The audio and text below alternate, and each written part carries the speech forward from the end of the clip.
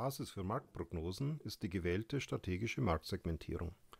Das bedeutet, die zukünftige Marktentwicklung, Marktvolumina und Wachstumsraten werden für die zuvor definierten Marktsegmente ermittelt.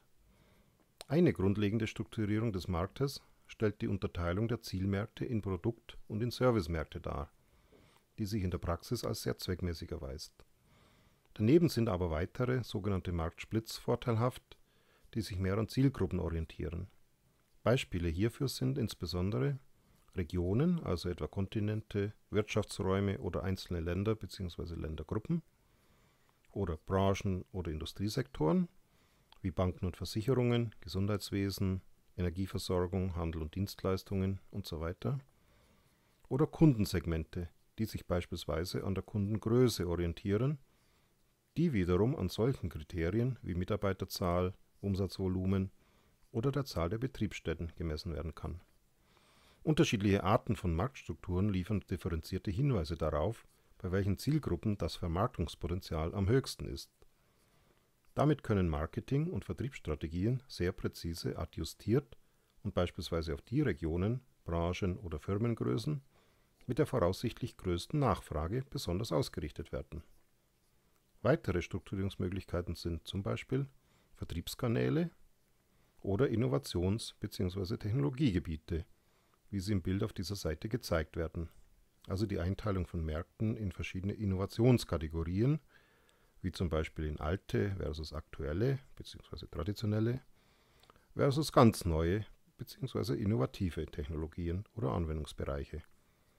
Selbstverständlich lassen sich die verschiedenen Strukturierungsmerkmale auch miteinander kombinieren, wodurch noch genauere Potenzialanalysen und Feinjustierungen der Strategien und Maßnahmen ermöglicht werden, etwa durch Adressierung der wichtigsten Branchen in den strategisch bedeutsamsten Wirtschaftsregionen.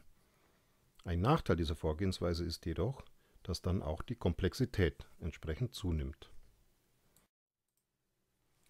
Die Einschätzung der Attraktivität von Marktsegmenten ist eine wesentliche Voraussetzung, um die unternehmerischen Aktivitäten systematisch auf diese Zielmärkte auszurichten.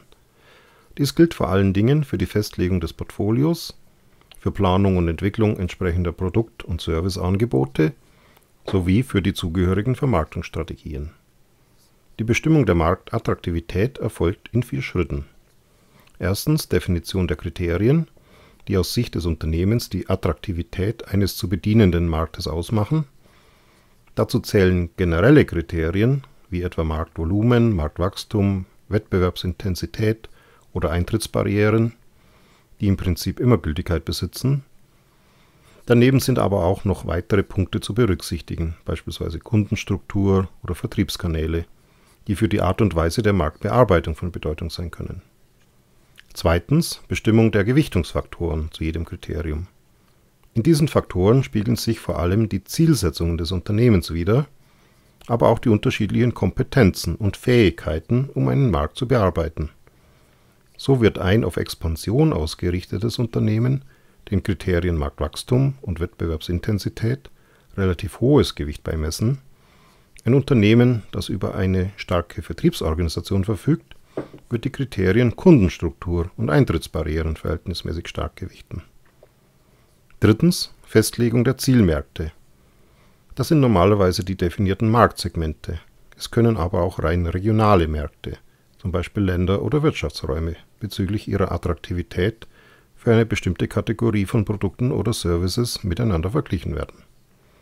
Viertens Ermittlung der Ausprägung jedes Kriteriums für alle Märkte, die bewertet werden sollen.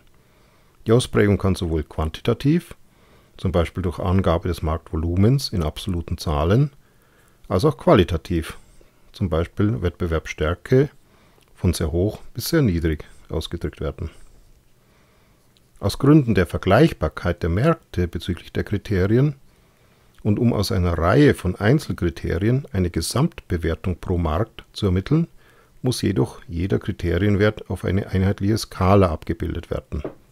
Etwa von plus plus, was sehr gut entspricht, über plus, 0 und minus bis hin zu minus minus, was sehr schlecht entspricht.